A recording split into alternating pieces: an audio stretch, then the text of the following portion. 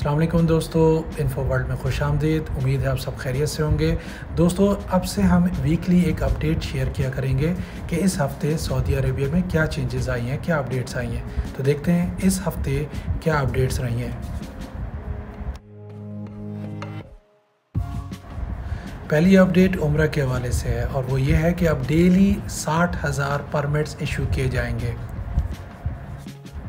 हर वो बच्चा जिसकी उम्र 18 साल या उससे ऊपर है, वो भी परमिट हासिल कर सकता है।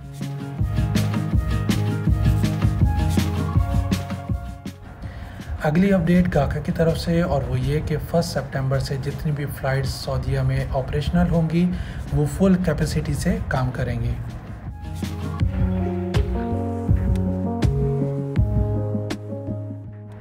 अगली अपडेट भी उम्र के हवाले से है, और वो ये कि हर वो बच्चा जिसकी उम्र 12 साल या उससे ऊपर है और उसने दोनों डोजेज़ लगवा ली हैं, वो भी उम्र के लिए जा सकता है। इसके अलावा वो मस्जिद नबी की भी ज़्यारत कर सकता है।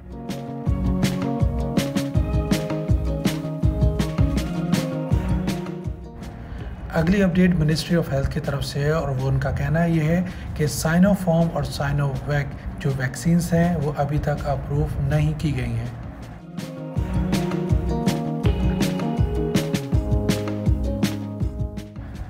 अगली अपडेट कुछ इस तरह से कि आप खारजी, यानी एक्सपर्ट्स जो हैं, सऊदीया के अंदर प्रॉपर्टी ख़रीद सकेंगे। इसकी मज़ीद इन्फॉर्मेशन ये है कि एक वक्त में एक एक्सपर्ट एक ही प्रॉपर्टी अपने नाम रख सकता है। किसी भी प्रॉपर्टी को हासिल करने के लिए उसे कंप्लीट डिटेल्स के साथ अपशर के ज़रिए अप्लाई करना होगा। अप्लाई करते वक्त उसका अकामा वैलिड होना लाजमी है।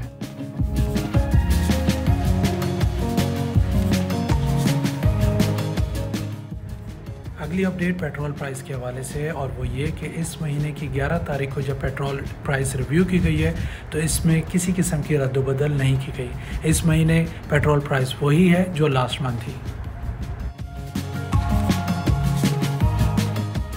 इस हफ़्ते की last update ministry of transport की तरफ़ से है, और वो ये कि अब से तमाम टैक्सी ड्राइवर्स पाबंद होंगे कि वो टैक्सी में फेयर मीटर का इस्तेमाल करें। और इसके अलावा टैक्सी में इलेक्ट्रॉनिक पेमेंट डिवाइस का होना भी लाजमी है।